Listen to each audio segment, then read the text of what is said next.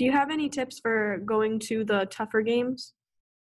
Because um in the tougher games I kind of just read them and I'm like, "Oh my god, what do I do? How do I begin to understand this because I can't find like any well I can find some keywords, but I could find keywords of different like avenues for the games."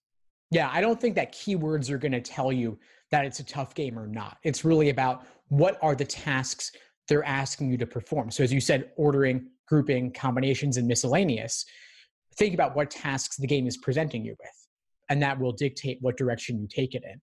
And i'd focus on the the simple pure types first before getting into those tougher ones. I have a list of the tough ones i can send you where it's basically every weird curveball game from test number one up to present.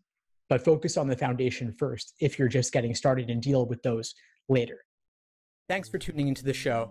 Please subscribe if you haven't done so already to be notified of new episodes as I release them. And feel free to reach out if you need anything at all as you move forward with your prep. I'm happy to help however I can. In the meantime, I wish you all the best and take care.